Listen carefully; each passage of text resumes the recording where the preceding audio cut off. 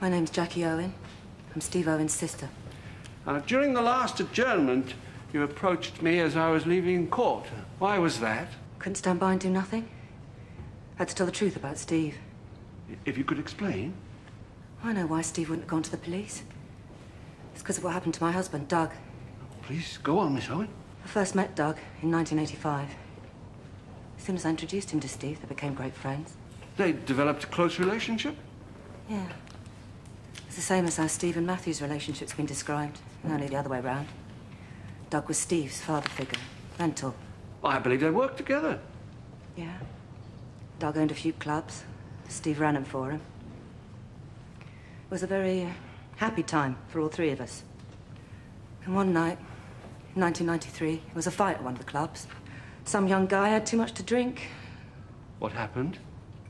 Doug went to throw him out. Guy pulled a knife. Doug lashed out to protect himself, hit the guy in the wrong place, killed him. Was your husband prosecuted for this? Yes. He pleaded guilty in court. Manslaughter. Got ten years. How did this affect him? Doug wasn't a villain. He was a gentle giant. Couldn't handle it. One day he just couldn't take being locked up anymore. I know this is painful, Miss Owen.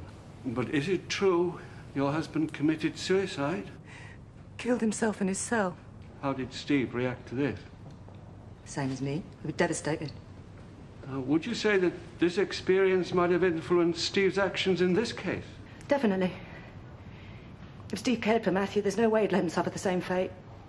You say he'd fear for Matthew's life in prison? It's just the same. Doug just lashed out. He hadn't meant to kill anyone. That's why Steve would lie, not report Matthew to the police. Why would Mr. Owen not have mentioned this? Protect me, I suppose. He wouldn't want to dredge it all up again. Thank you, Miss Owen. Miss Owen, obviously, with your giving evidence at this late stage, we do not have an opportunity to look into the events you describe. I wouldn't lie about my husband killing himself. I'm sure you wouldn't. However, if Mr. Owen was so devastated by your husband's death in prison, there is the possibility, is there not, that he lied in order to stop himself suffering a similar fate. It's a possibility. I know my brother. If he had killed Saskia, he'd have held his hand up and admitted it.